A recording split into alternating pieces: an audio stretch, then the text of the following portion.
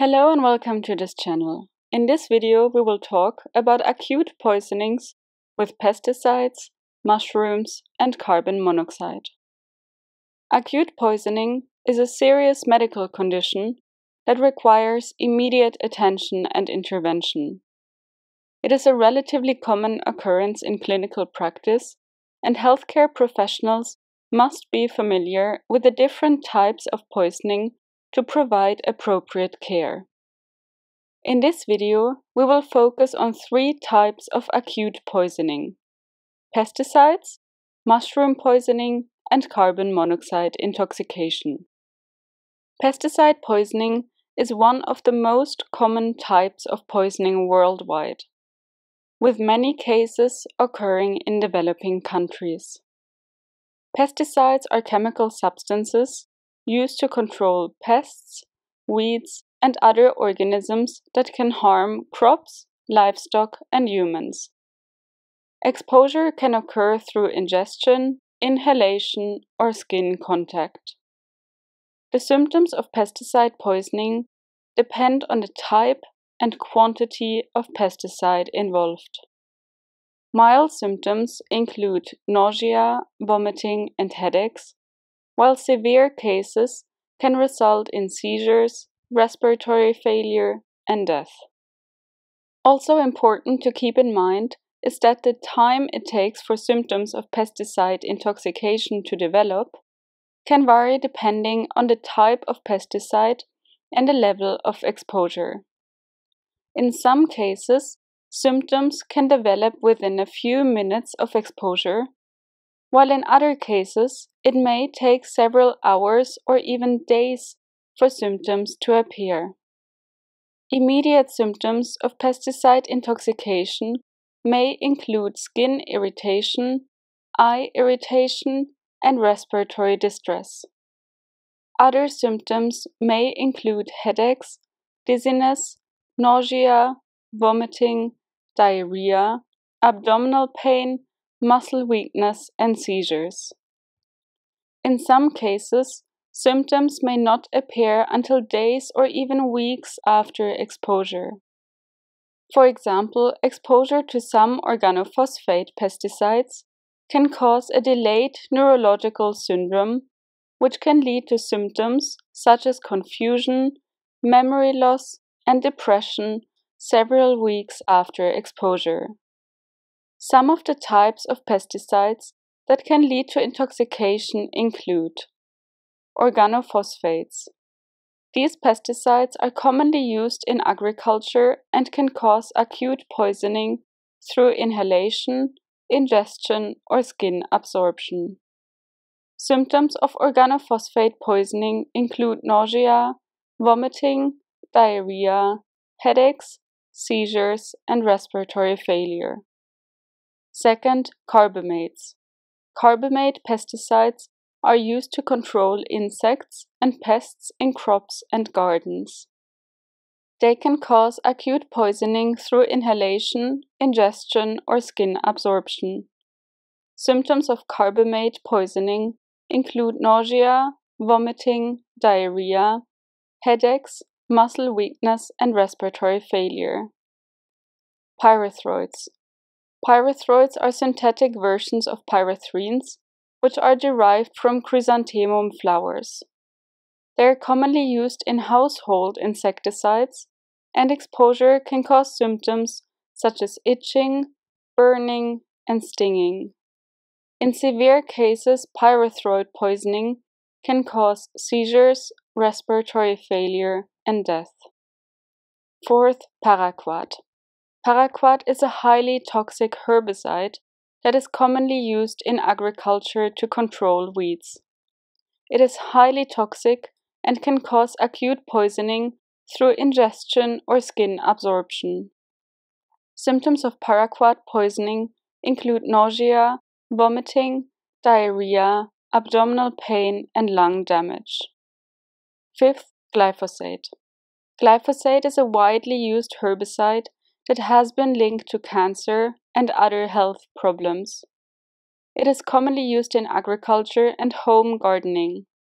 Exposure to glyphosate can cause skin irritation, respiratory problems, and gastrointestinal problems. The treatment of pesticide poisoning depends on the type and severity of the poisoning.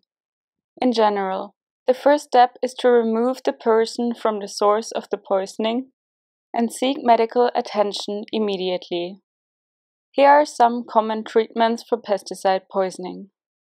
First, decontamination. If the person is still contaminated with the pesticide, it is important to remove the contaminated clothing and wash the skin thoroughly with soap and water. Eye irrigation may also be necessary. Second, supportive care. Supportive care is the mainstay of treatment for pesticide poisoning.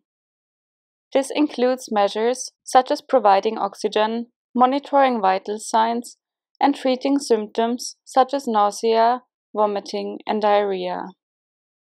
Third, antidotes. In some cases, antidotes may be available to reverse the effects of the pesticide. For example, atropine is an antidote for organophosphate poisoning, and pralidoxime is an antidote for carbamate poisoning. These antidotes are typically administered in the hospital setting. Fourth, dialysis. In severe cases of pesticide poisoning, dialysis may be necessary to remove the pesticide from the blood. And last, long term care.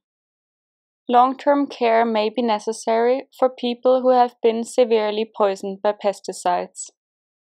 This may include rehabilitation and ongoing medical monitoring to address any long term health effects. Prevention is the best way to avoid pesticide poisoning. People who work with pesticides should receive appropriate training on how to handle and use them safely.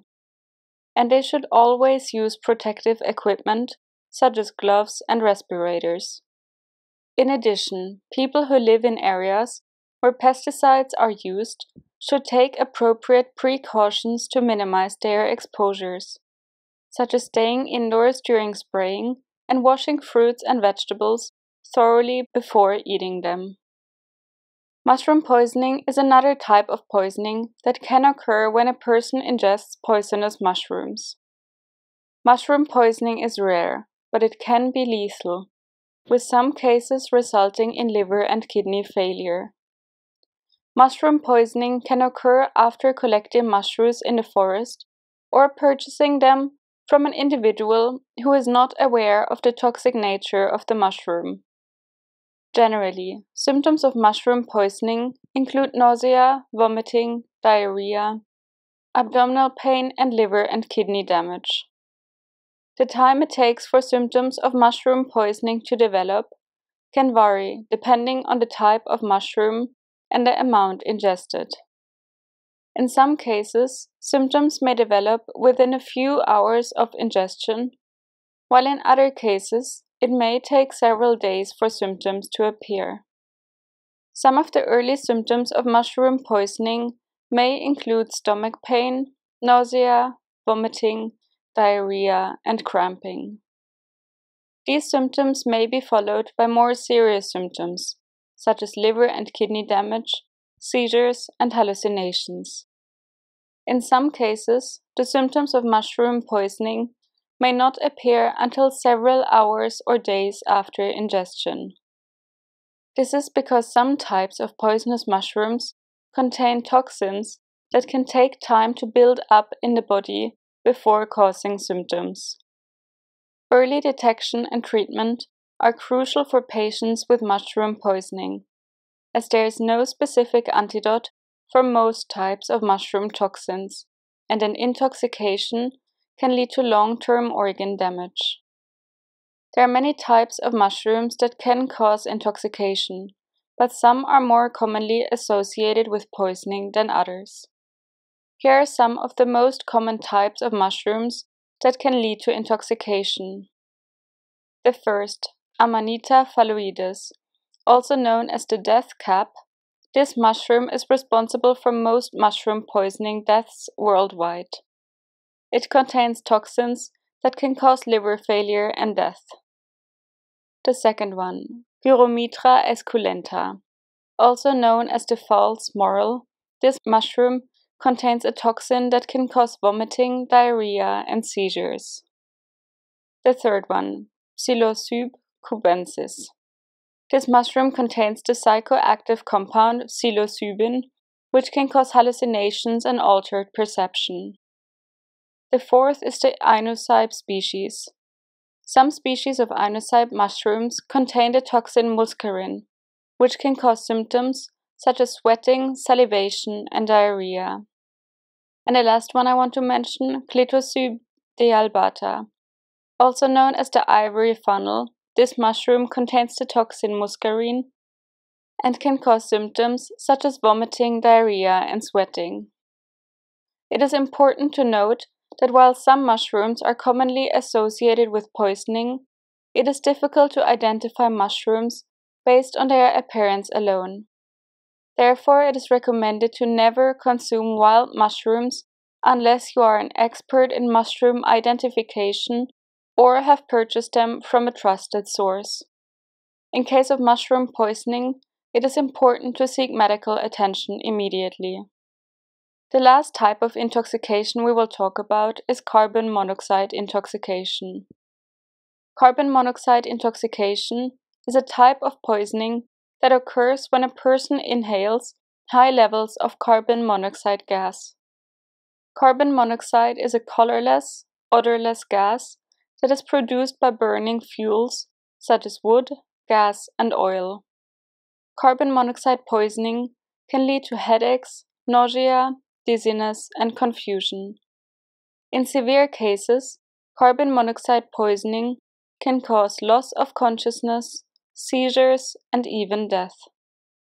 Carbon monoxide poisoning can be prevented by ensuring proper ventilation in living spaces and avoiding the use of gas powered equipment in enclosed spaces. The time it takes for symptoms of carbon monoxide poisoning to develop can vary depending on the level of exposure and the duration of exposure. In some cases, symptoms may develop within minutes of exposure to high concentrations of carbon monoxide, while in other cases, it may take several hours or even days for symptoms to appear. The early symptoms of carbon monoxide poisoning can be mild and may be mistaken for other illnesses, such as the flu. These symptoms may include headache, dizziness, weakness, nausea, vomiting, and confusion.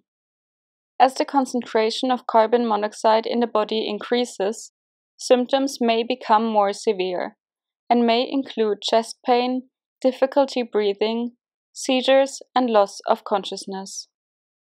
The treatment for carbon monoxide poisoning depends on the severity of the symptoms and the concentration of carbon monoxide in the blood. If you suspect carbon monoxide poisoning, it is important to immediately move to an area with fresh air and call emergency services. Once medical help arrives, they will likely administer high flow oxygen through a mask or breathing tube to help remove carbon monoxide from the body. This treatment can continue until the carbon monoxide levels in the blood return to normal, which can take several hours to days. In severe cases, hyperbaric oxygen therapy may be used to speed up the removal of carbon monoxide from the body. This treatment involves breathing pure oxygen in a pressurized chamber to help increase the amount of oxygen in the blood and speed up the removal of carbon monoxide. It is important to seek medical attention even if symptoms seem mild, as carbon monoxide poisoning can be difficult to detect and can lead to serious health complications if left untreated. Additionally, once treated, it is important to identify the source of the carbon monoxide and address the problem to prevent further incidents of poisoning. In conclusion, acute poisoning is a serious medical emergency that requires prompt recognition and treatment. Pesticide poisoning, mushroom poisoning, and carbon monoxide intoxication are just a few examples of the different types of acute poisoning that can occur in clinical practice. Healthcare professionals should be familiar with the signs and symptoms of these types of poisoning and the appropriate treatment methods to provide optimal care to patients. It is also essential to educate the public on the prevention of acute poisoning to reduce the incidence of these life-threatening conditions. That's it for this video, I hope it was helpful, and if you like our channel, please subscribe. If you would like to see more videos on toxicology, please let us know in the comments. Thank you very much and hopefully see you again in the next video.